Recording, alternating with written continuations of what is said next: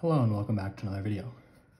This problem, we're told a text messaging plan charges a flat fee of $5 per month up to 100 text messages, plus 25 cents for each additional text message sent that month. We're asked which of the following graphs represents the cost y of sending x tenths in a month. So let's interpret all of these graphs and see what sort of situation they are talking about. So for A, we have a constant rate and then a increase after a certain point.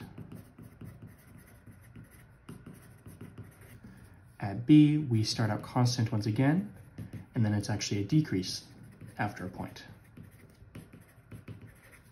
C, we are just increasing the whole way.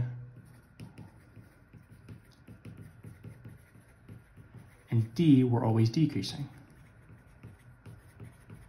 So which of these situations is reflected in the actual information we're given in the problem?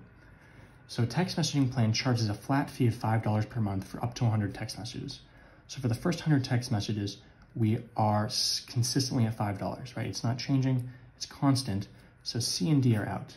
And then A and B both have this constant for the first 100 messages reflected in these horizontal lines right here.